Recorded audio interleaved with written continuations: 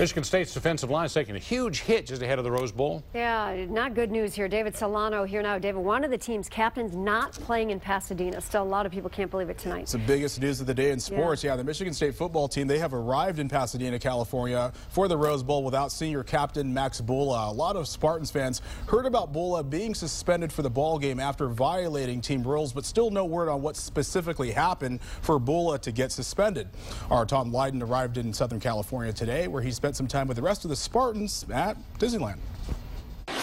Unquestionably a day for fun here at Disneyland, but suddenly after the news that broke last night, the Spartans found themselves answering questions about losing the emotional leader from their defense. Extremely disappointing for all parties involved. There are no winners here. It's kind of a bit of a shock, um, but uh, you know, our team's been in these situations before with, you know, coming, overcoming adversity. You know, our team's done well stepping up and filling those voids, and, uh, you know, I think that's what we're going to do here. How do you balance trying to have as much fun as you can with a somewhat devastating blow of losing one of your main guys? Yeah, I mean, it's a huge moment for us, and we can't think about some of the adversity that we're going to go through when how great of an area and place this is. We're Spartans. We're going to bulk up, and being in Disneyland, you can't not have fun. Obviously, Max is an irreplaceable part of the team, but we have the utmost faith in Kyler to, to do a great job in filling that void. And uh, he's a senior. He's been here for five years. He knows the defense, and uh, we're sure he's going to do a great job. I feel you know everyone's going to you know we're going to we're going to pull together.